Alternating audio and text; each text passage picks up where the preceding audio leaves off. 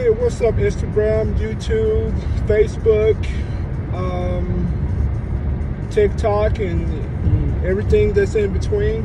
I'm here to do another video. Uh, this one is going to be about how can you use your weapon uh, with your martial arts. Well, one cool thing about doing different styles is you can mix and match everything that you're doing. For instance, you may do a Krav Maga move, you know, get a point of entry, and then you can turn around do a jiu-jitsu move, do a single leg takedown, um, and then you know you can push them down. And let's say you um, carry inside your waistband your your gun or your your for for my sake uh, my Byrna, you can draw it and then back away.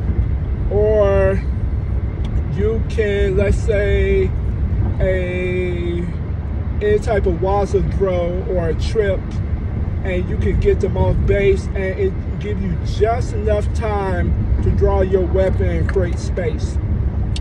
Uh, let's say you on the ground and you are the and you have your weapon on you and they grabbing for your weapon. Let's say you do what's called flower sweep. You sweep them off your feet. You get uh, top mount. You you you know punch whatever create space to, uh, to, to get your weapon. Of course nothing is perfect. Um, there's always error for there's always possibility of errors. But I think if you add everything that you train to do in other styles and add a weapon, it just makes you that much more dangerous, that much more lethal to defend yourself. So let's say you have a person, let's say that person is drunk.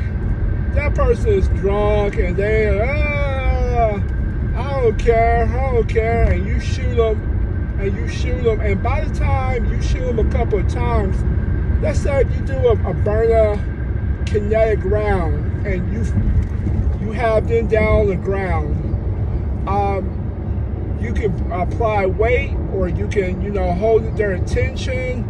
Uh, they're gonna be on the ground for a while. Now, for my case, I have plastic cuffs that I keep and if I know they fully down, um, I'm going to use it. Or if I think I can get away or take a picture, I'm going to get away.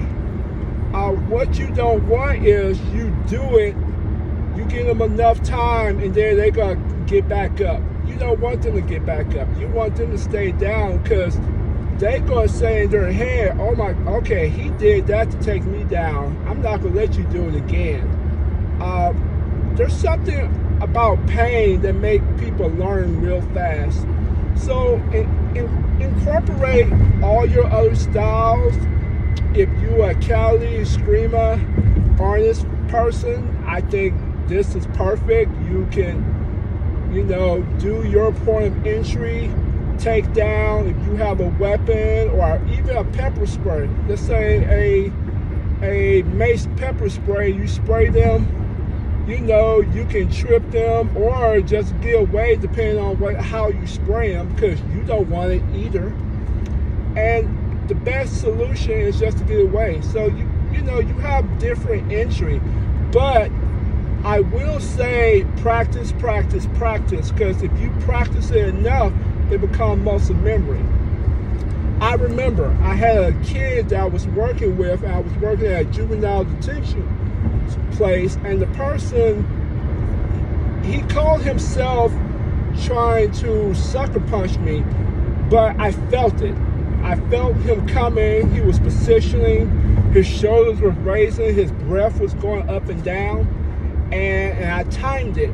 And I surprise them so fast because I'm a big guy, but I'm faster than you think. I mean, I, am not, I'm not Bruce Lee or Char Jackie Chan, but I'm, I'm, I'm a little bit faster than, than you think. I'm not completely dead yet.